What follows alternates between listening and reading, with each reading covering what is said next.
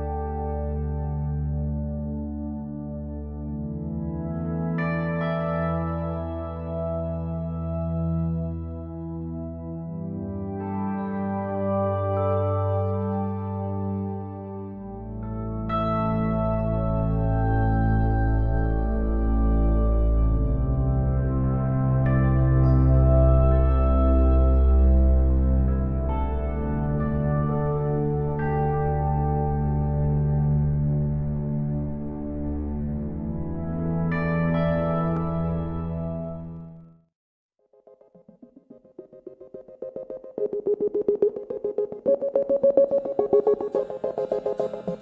んでだろう?